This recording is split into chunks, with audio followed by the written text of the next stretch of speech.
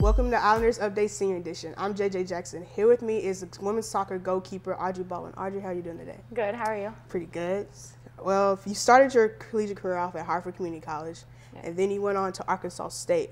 And then for your senior year, you decided to transfer here to your new program here at the Island. So, talk about your transitions from the different schools and what made you decide to transfer for your senior year.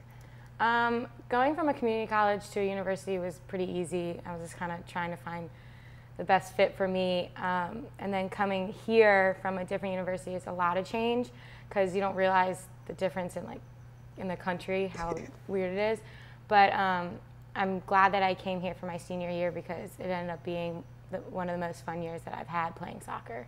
So you were you're the only senior on the team coming in. Did you know? Did you feel any pressure as just being the only one that has that so much college experience? Um, not really, just because I didn't know that I was going to even play because uh, I was coming in to compete for a spot.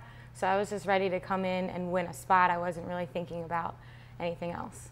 It's funny that you say that because, you know, you recently ranked nationally. You're 10th in the nation in saves per game, and then you're seventh with total saves. So when you heard that, like, talk about what you your reaction to that. It's so weird because, like, I like I said, I didn't even expect really to play. I was just coming in trying to do my best, and um, this whole year has been just me trying to play the best I can. So to actually get recognition for it, especially in a first year program, is crazy. and uh, speaking with two of your teammates who've known you the longest, Rachel Keeley and Jessica Burden. Um, you played with Rachel at Hartford Community College, and you know she just said how you've been so much like a big